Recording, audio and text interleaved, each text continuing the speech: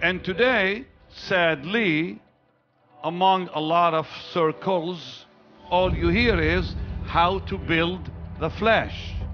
It's a feel good message. That's what you hear out there. And I'm sorry to say that prosperity has gone a little crazy. And I'm correcting my own uh, uh, theology. And you need to all know it. I think it's an offense to the Lord. It's an offense to say, give a thousand dollars. I think it's offense to the Holy Spirit to place a price on the gospel. I'm done with it.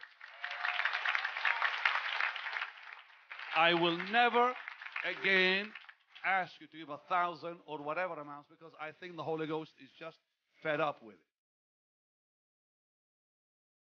So I'm making this statement for the first time in my life, and frankly, I don't care what people think about me anymore.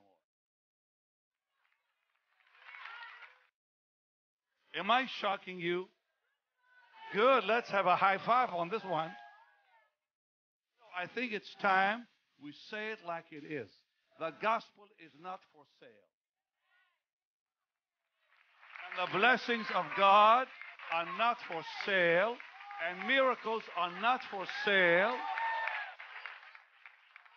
and prosperity is not for sale.